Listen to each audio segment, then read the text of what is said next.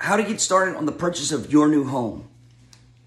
First thing is to talk with a local lender. They'll let you know exactly what type of loan you qualify for, how much you qualify for, what your down payment will be, your interest rate, and can answer any questions that you have about financing your new home.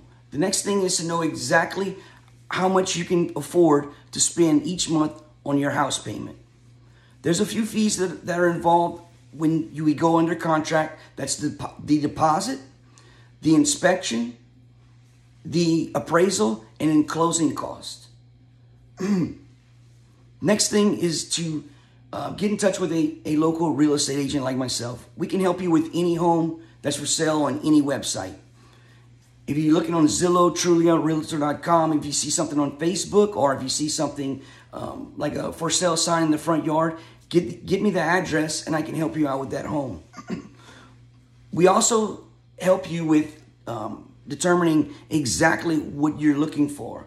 Um, we'll ask you a series of questions, school zones, how many bedrooms, how many baths, and we'll set up a, a specific search just for you. So get in touch with me. We can help you with any home that's for sale on any website, and I'm more than happy to set up a home buyer's consultation. Thank you very much.